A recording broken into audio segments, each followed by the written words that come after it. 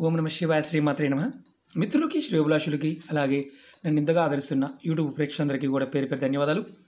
మిత్రులరా మీ అందరికీ కూడా పరాదేవత ఎల్లవెల్లలా మీతో ఉండి మీ మనోవాంఛ నెరవేర్చాలని మనస్ఫూర్తిగా కోరుకుంటున్నాను. ఈరోజు మనం ఒక మొక్క గురించి తెలుసుకుందాం. ఈ మొక్క ఒకటి మన ఇంట్లో పెట్టుకోవడం వల్ల సకల సంపదలు సౌభాగ్యాలు సంతోషాలు కలుగుతాయని శాస్త్రం చెప్తుంది. మొక్కలు మన జీవితంలో ఒక భాగం. ఈరోజు మనం ఈ అద్భుతమైన మొక్క గురించి చెప్పుకుందాం. ఈ మొక్క మన ఇంట్లో పెట్టుకోవడం వల్ల అన్ని రకాల కష్టాలు సమస్యల నుండి బయటపడడానికి మార్గాలు తెలుస్తాయి. ఆ మొక్కే అశోక వృక్షం అశోక చెట్టు. ఇందుట్లో రెండు రకాలు ఉంటాయి. ఆ రెండు రకాలు ఏంటంటే ఒకటి మనం ఇప్పుడు ఆఫీసులోను గవర్నమెంట్ ఆఫీసుల్లోను స్కూల్స్లోను కాలేజీలోను ఫ్యాక్టరీస్లో చూస్తూ ఉంటాం పొడుగుండాకులు అలాగే ఎర్రటి పువ్వులు పూసే ఆకులు ఉంటుంది. అంటే సీత అశోకవనంలో ఉన్నప్పుడు అమ్మవారు వర్ణించిన మొక్క ఒకటి ఉంటుంది. అవి కూడా మనకి నర్సరీలో దొరుకుతూ ఉంటాయి. ఇది ఎవరైనా పె ఎవరైనా పెంచవచ్చు. ఏ కులము జాతి మతం అనేది సంబంధం లేదు. కానీ ఈ మొక్క గురించి చాలా విషయాలు ఈరోజు తెలియజేస్తాను. చాలామంది మిత్రులు అడిగారు మొక్కల గురించి చెప్పండి. ఏ మొక్క పెట్టుకోవడం వల్ల కష్టాల నుంచి బయటపడతాం? అన్ని రకాల మొక్కల నుంచి అద్భుతమైన శక్తుల్ని మనం పొందగలం. కానీ దానికి ఒక విధానం ఉంటుంది. ఆ విధానాన్ని మనం పాటించినప్పుడు ఖచ్చితంగా వందకు వంద పర్సెంట్ మొక్కల నుంచి మనం ఆ శక్తిని పొందగలుగుతాం. మొక్కల్లో దయ అంటే సాక్షాత్ శ్రీమన్నారాయణుడు మొక్కల్లో ఉంటాడు.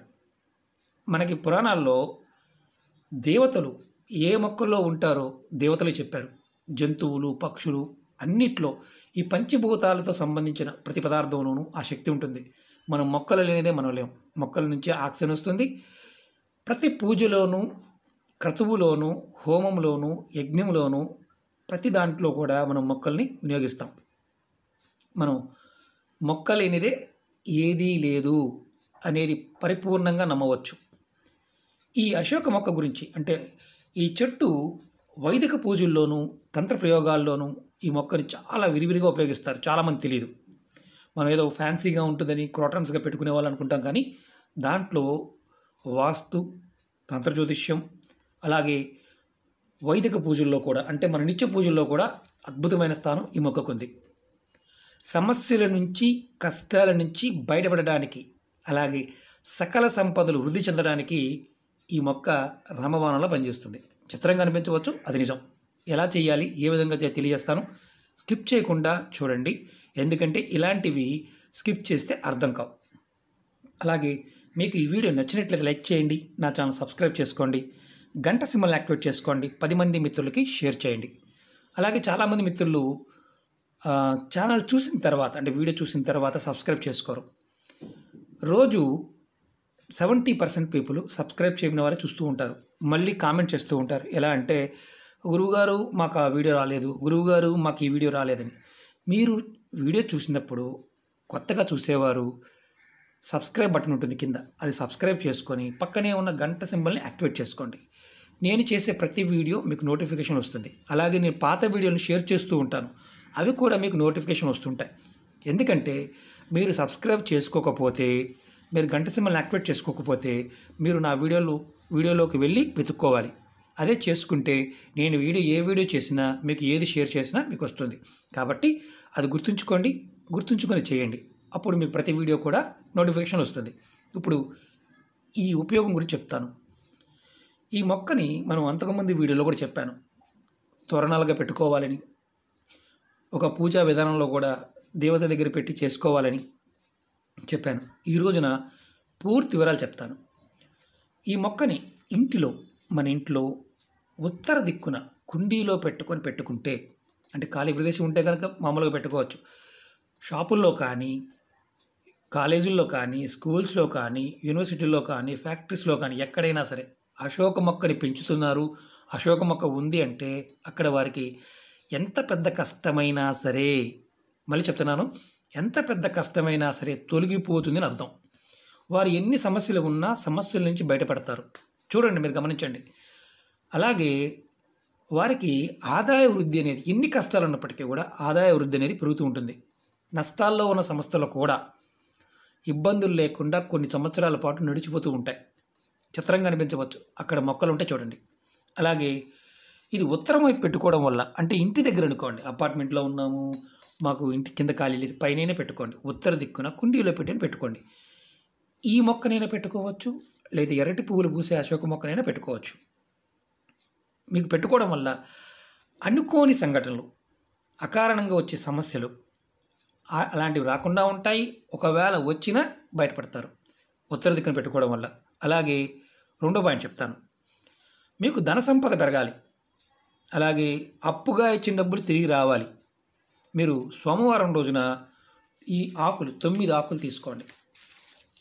ఆకులు డ్యామేజ్ అవ్వకూడదు. ఇలాంటి ఆకులు పూర్తిగా ఉండాలి. డ్యామేజ్ అని చూపిస్తాను. చిరిగిపోయిన ఆకులు ఇలాంటివి తీసుకోవద్దు. ఇలాంటి తొమ్మిది ఆకులు తీసుకోండి. తొమ్మిది ఆకులు తీసుకొని చక్కగా నీటితో శుభ్రం చేయండి. తర్వాత వీటిని పాలల్లో వేయండి. అంటే పాలల్లో మళ్ళీ శుభ్రం చేయండి. తర్వాత మళ్ళీ తీసి మళ్ళీ నీటిలో శుభ్రం చేయండి. ఈ తొమ్మిది ఆకులు ఒక్కదాని మీద ఒకటి చూపిస్తాను. ఇలా ఒక్కదాని మీద ఒకటి తొమ్మిది ఆకులు పెట్టి క్లీన్ చేసిన తర్వాత ఇలాంటి దారం దొరుకుతుంది రక్షాదారం. దీంతో ఈ తొమ్మిది ఆకుల్ని కట్టండి. ఇది రక్షాసూత్రం అంటారు. ఇలా కట్టండి. మనతో పండితులు చేపిస్తూ ఉంటారు. ఒక్కొక్కసారి మనకు మనం చాలామంది తెలియదు. ఇవి ఎందుకు చేస్తారు పండితులు అంటే ధనానికి నిలబడడానికి ఇలాంటివి చేస్తున్నప్పుడు మనకేదో ఏదో పూజ అనుకుంటాం. దాని గురించి తెలియదు. మనకు పండితులు చేసిన దాని మీద పండితుల మీద గౌరవం ఉన్నప్పుడు పూజ చేసిన పండితుల మీద గౌరవం ఉన్నప్పుడు మాత్రమే ఆ పూజ ఫలిస్తుందని శాస్త్రం చెప్తుంది. డబ్బులు ఇచ్చాం కదా చేశారు కదా అయిపోయింది కదా అనుకోమాకండి. ఎవరైతే పూజ చేస్తారో ఆ పండితుణ్ణి దైవాంశ సంభూతుడిగా గౌరవించాలి. అంటే ఎవరినైనా గౌరవించాలి. అప్పుడు అతను ఏ మంత్రం చదివినా అది మనకి ఆపాదింపబడుతుంది. మనం డబ్బులు ఇచ్చావో లేదో మాట్లాడుకుందాం ఫోన్ చూసుకున్నామంటే కుదరదు. పూజల్లో ఎప్పుడు కూడా ఫోన్లు వాడమాకండి. అలాగే ఇలాంటి క్రతువులు చేస్తున్నప్పుడు కూడా ఎప్పుడు ఫోన్లు మాడమాకండి మీరు అలాగే గౌరవించండి. మీకు ఎవరైతే పూజ చేస్తున్నారో వారిని గౌరవించండి. ఖచ్చితంగా ఫలితం వస్తుంది. అలా గౌరవం లేకపోతే ఫలితం రాదు. అది గుర్తుంచుకోండి. ఇది సోమవారం నాడు ఈ ఉపాయం చేయాలి. ధన సంపద పెరగడానికి అప్పుగా ఇచ్చిన డబ్బులు తిరిగి రావడానికి సోమవారం రోజున తొమ్మిది ఆకులు తెచ్చుకోండి ముందు వీటిని క్లీన్ చేసుకోండి తర్వాత వాటిని పాలల్లో మామూలుగా కొంచెం పాలు తీసుకోండి ఆకులు దాంట్లో పెట్టి శుభ్రం చేయండి తర్వాత మళ్ళీ ఈ ఆకుల్ని నీళ్ళలో శుభ్రం చేయండి తర్వాత ఒకదాని మీద ఒక ఆకు పెట్టండి పెట్టి చక్కగా ఈ ఇలా రక్షాబంధం దారం దొరుకుతుంది దీన్ని రక్షాసూత్రం అంటారు చక్కగా కట్టండి మీరు అమ్మవారి పట్టం ముందు అంటే లక్ష్మీదేవి పట్టం ముందు కానీ అమ్మవారి పట్టం ముందు పెట్టండి. దేవుడి ముందు పెట్టి ఏ దేవుడైనా పర్వాలేదు పెట్టి కుంకుమ అక్షంతులు వేయండి. తర్వాత ధూపం దీపం చూపించండి. తర్వాత అమ్మవారి మంత్రాన్ని లక్ష్మీ మంత్రాన్ని మీరు చదువుకోవచ్చు లేదా శ్రీ సూక్తం కూడా చదవచ్చు కనకదార సూత్రాన్ని కూడా చదవచ్చు. అంటే కనకదార స్తోత్రం చదివినప్పుడు లేదా అమ్మవారి మంత్రాన్ని మీకు ఏది రాదు అనుకున్నప్పుడు ఓం మహాలక్ష్మి నమ అనే మంత్రాన్ని కూడా మీరు మనసులో చదువుకోవచ్చు. ఇలా చేసి అలా అమ్మవారి ముందు పెట్టి మీరు నమస్కారం చేసుకొని మీ మనసులో ఉన్న కోరిక చెప్పుకోండి. ముందు చెప్పాను ఈ ఉపాయం ధన సంపద పెరగడానికి అప్పుగా ఇచ్చిన డబ్బులు తిరిగి రావడానికి. మీరు ఈ దోషాల నుంచి బయటపడతారు. అలాగే మీరు ఏదైతే చేస్తున్నారో అది ధనం వస్తుంది. అప్పుగా ఇచ్చిన డబ్బులు కూడా తిరిగి వస్తాయి. అలాగే రెండవ రోజున ఈ ఆకులు ఏదైనా చెట్టు మొదల్లో ఈ సో ఇలాగే దారంతో పాటే చెట్టు మొదల్లో పెట్టేయండి. డస్ట్బిన్లో కానీ లేకపోతే కాలంలో కానీ ఇలా పడేయమాకండి. ఏదైనా చెట్టు మొదల్లో ఇలా పెట్టేయండి. రెండవ రోజు. తర్వాత ఈ ఉపాయాన్ని ఎప్పుడు చేయాలని చెప్పాను? సోమవారం. ప్రతి సోమవారం ఈ ఉపాయం చేయండి. ప్రతి సోమవారం. ఈ ఉపాయాన్ని ఎప్పుడు చేయకూడదంటే నెలసరి ఉన్నప్పుడు చేయమాకండి. ఏదైనా మైలు ఉన్నప్పుడు అంటే మీ కుటుంబంలో ఎవరైనా మరణించారు పెద్ద కర్మ అవ్వలేదు మీరు ఇంట్లో పూజ చేసుకునే అవకాశం లేదు అప్పుడు చేయమాకండి. అలాగే ఆరు నెలలు లోపు గర్భిణీ స్త్రీలు చేయవచ్చు ఆరు నెలలు దాటితే మాత్రం చేయవద్దు. ఇది గుర్తుంచుకోండి. అలాగే ఇంకొక ఉపాయం చెప్తాను. ఈ మొక్క ఈ ఈ చెట్టు మొక్కలు ఆకులతోనే మీకు వివాహంలో ఆటంకాలు వస్తున్నాయి. వివాహం త్వరగా అవడం లేదు. అమ్మాయికి కానీ అబ్బాయికి కానీ. ప్రతిరోజు స్నానం చేసే నీళ్ళల్లో ఈ ఆకుల్ని మూడు లేదా నాలుగు ఆకులు వేసుకొని మీరు స్నానం చేయవచ్చు. లేదు మీకు ఆకులు ఇబ్బంది అనుకున్నప్పుడు అంటే ఆకులు వేసుకుని చేయాలని ఇబ్బంది అనుకున్నప్పుడు ఈ చెట్టు వేరు దొరుకుతుంది. ఆ చిన్న వేరు ముక్కనైనా ముందు తెచ్చుకోండి. ఒక పెద్ద వేరు తెచ్చుకోండి. ఒక ఇంత పెద్ద తెచ్చుకోండి. దాంట్లో చిన్న ముక్కను నీళ్ళలో వేసుకొని స్నానం చేయండి. మీకు వివాహం సంబంధించిన ఆటంకాలు ఏదైనా ఏర్పడుతున్నప్పుడు అవి తొలగడానికి అవకాశాలు ఉన్నాయి అలాగే మీకు వివాహం త్వరగా అవుతుంది. ఈ విధంగా మీరు వరుసగా అంటే కంటిన్యూగా ఇరవై క్రోలు చేయాలి. మీకు నెలస ఆడపిల్లలు అనుకోండి. నెలసరి వచ్చిన తర్వాత అంటే ఐదు రోజులు అయి ఆరో రోజు నుంచి మొదలుపెట్టి కంటిన్యూ చేసుకోవాలి.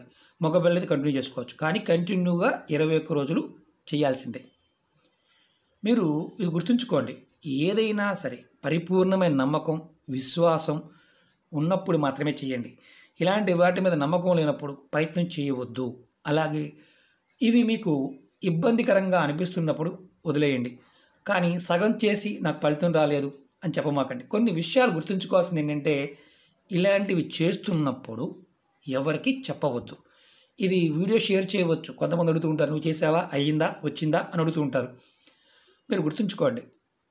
ప్రతి వారకు ఒక ఐడి నెంబర్ ఉంటుంది. మనకి ఫోన్లో కానీ మన జాతకంలో పూర్వకర్మల యొక్క ప్రభావం మన మీద ఉన్నప్పుడు మనం వాటిని ఈ చేతులతో మనం వాటిని పక్కన పెట్టుకోవాలి.